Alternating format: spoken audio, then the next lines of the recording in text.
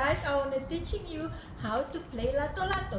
First, you put two finger here, and then the other one must be parallel like this. This must be tight, tight. You tight up like this, and then start play. Slowly, slowly.